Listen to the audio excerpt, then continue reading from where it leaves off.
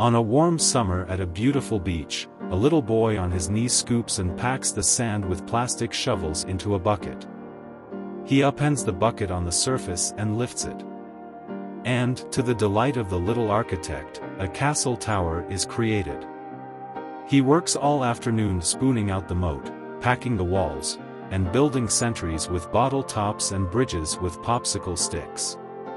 Finally, with his hours of hard work on the beach, a sandcastle will be made.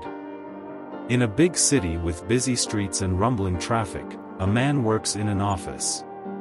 He shuffles papers into stacks, delegates assignments, cradles the phone on his shoulder and punches the keyboard with his fingers. He juggles with numbers, contracts get signed and much to the delight of the man, a profit is made.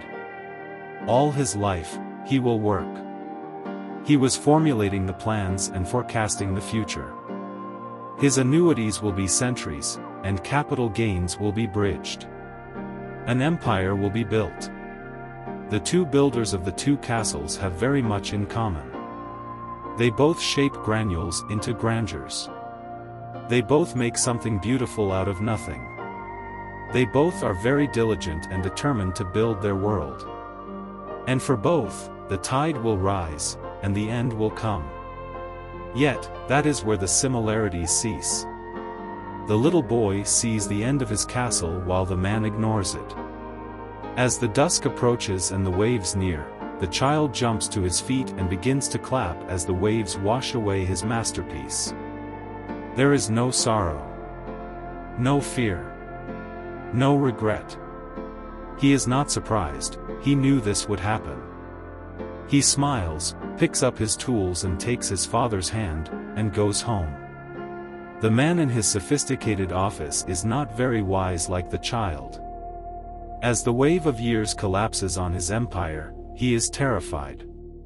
He hovers over the sandy monument to protect it. He tries to block the waves with the walls he made. He snarls at the incoming tide. It's my castle, he defies. The ocean need not respond.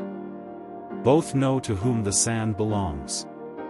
Go ahead and build your dreams, but build with a child's heart. When the sun sets, and the tides take, applaud. Salute the process of life and go home with a smile.